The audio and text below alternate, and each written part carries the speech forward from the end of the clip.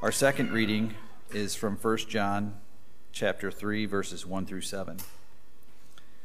See what kind of love the Father has given to us that we should be called children of God, and so we are. The reason why the world does not know us is that it did not know him. Beloved, we are God's children now, and what we will be has not yet appeared. But we know that when he appears, we shall be like him, because we shall see him as he is. And everyone who thus hopes in him purifies himself as he is pure. Everyone who makes a practice of sinning also practices lawlessness. Sin is lawlessness. You know that he appeared in order to take away sins, and in him there is no sin. No one who abides in him keeps on sinning. No one who keeps on sinning has either seen him or known him. Little children, let no one deceive you. Whoever practices righteousness is righteous, as he is righteous. This is the word of the Lord. Grace, mercy, and peace be to you from God our Father and our Lord and Savior Jesus Christ. Amen. I want to start out today by telling you a parable. There once was a young boy who wanted nothing more than to be like his father. From the day he could walk, he followed his dad around, emulating his every move. When his father made a cup of coffee in the morning, he would, he would pour milk into his own mug, pretending to sip something bitter. When his father pulled out his tools to fix something around the house, the boy was right there with his own playset, trying to learn how it was done. His mom even had to buy him a little suit because he wanted to look like his dad when they went to church on Sunday mornings. Of course, he couldn't tie his own tie yet, so his, his dad came over and he tied it for him. Look here. See, the big eagle circles the little rabbit round and around, and he flies up into the sky and down to catch the rabbit. The boy was so proud that day, sitting next to his dad in the pew, two peas in a pod. He beamed when the ladies at church remarked, Oh, the apple doesn't fall far from the tree, does it? Well, as time, went th- as, time, as time went on, the boy began to notice little differences between him and his father. He had his mother's hair, curly and rebellious, and his smile crooked where his father's was straight. He never quite reached his father's stature, and his tenor voice never dropped to match his father's deep baritone. There were little things that most people would never have noticed, but, but they bothered him magnifying a disconnect between him and his father as he grew older. He eventually went out into the world hoping to find his own identity where his father's shadow didn't reach. He slowly lost touch with his dad, not for any malicious reason, but simply because they drifted apart. A few years later, the boy's father had a sudden heart attack and he passed away. It was a shock to everyone, and the whole community came together for the funeral. The church was packed full that day of people in suits and dresses. And the boy flew home to be with his family, but he felt apprehensive about seeing his father for the last time.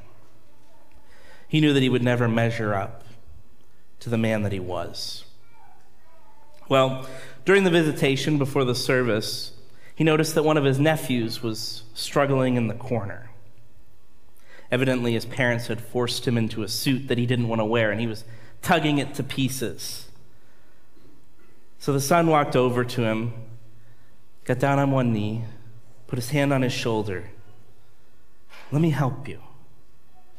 Do you know how to tie a tie? And his nephew shook his head, No. Well, let me show you. You see, the big eagle circles around the little rabbit, round and around. Then he flies up into the sky and then down to catch the rabbit. There you go, buddy.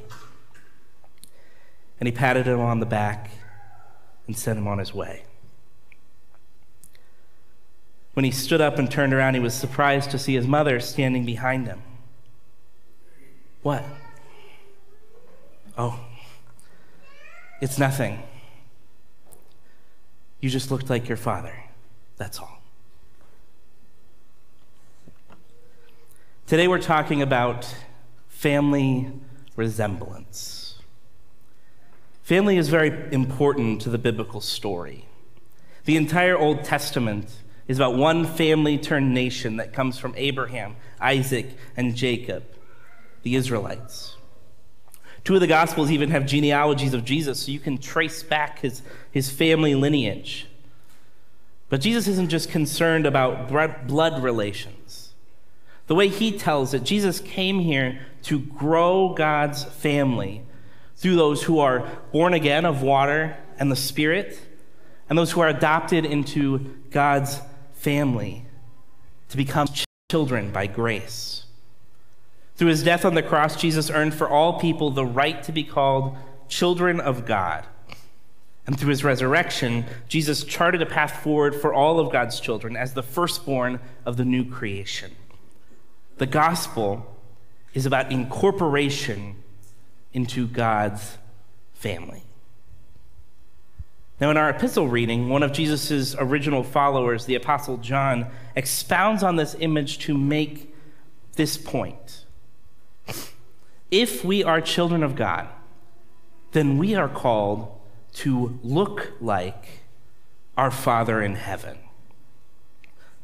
But as you heard in the parable earlier, family resemblance isn't what you look like, it's what you do. The boy resembled his father when he did what his father did, when he cared like his father cared. That's what it's like for us, too. We resemble our Heavenly Father when we love like He loves and we act like He acts. God even sent us an example, His own Son, to show us what a true child of God does. Jesus sought out the needy and healed and helped them. He forgave sins and restored outcasts. He called disciples to follow him on the narrow path. And as John reminds us, Jesus was without sin.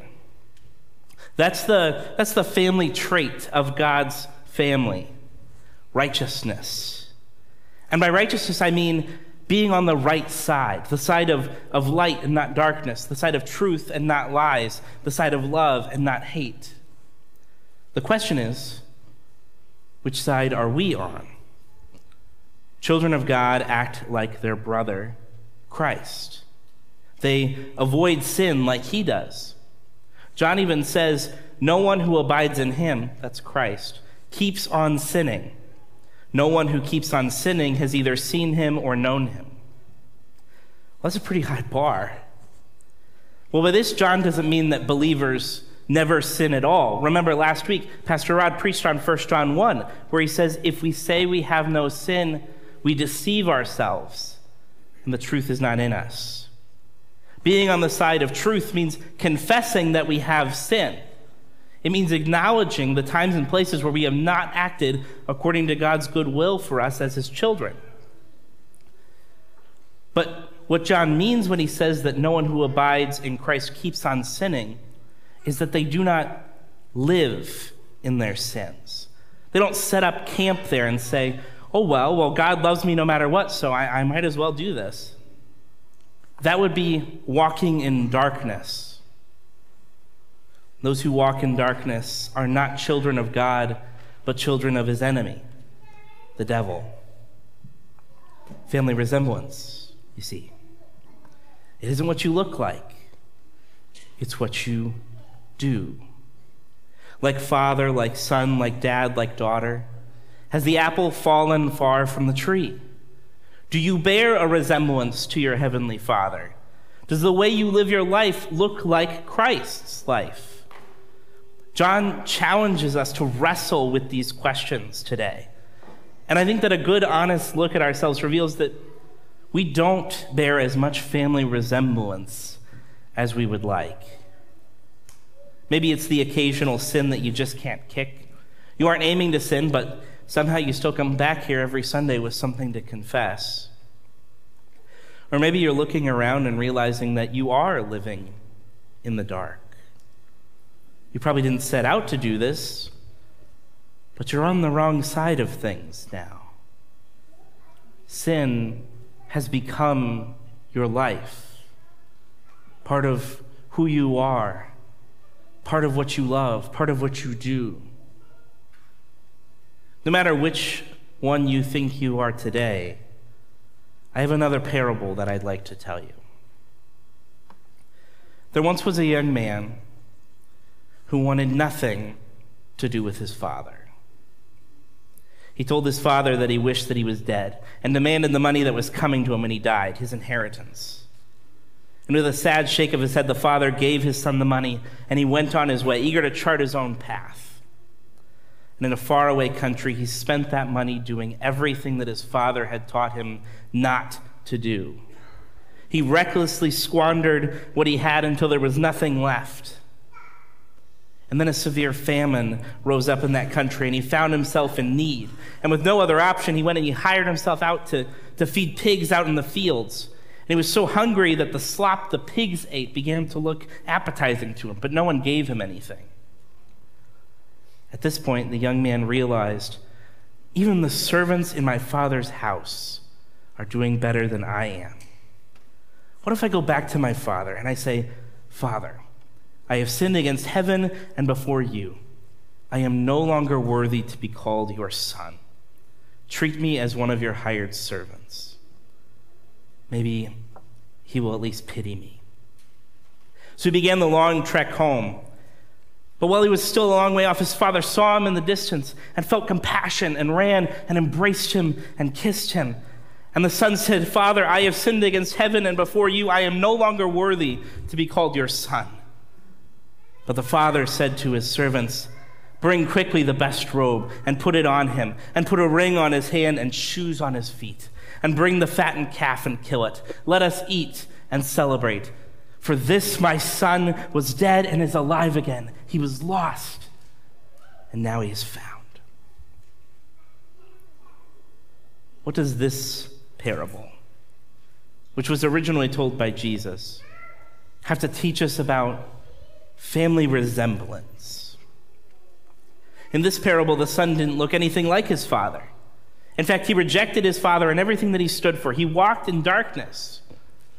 But a part of him still remembered, a part of him still remembered what the light looked like. So he went home, not quite sure what he would find. But what he found was a father who embraced him like the son he was.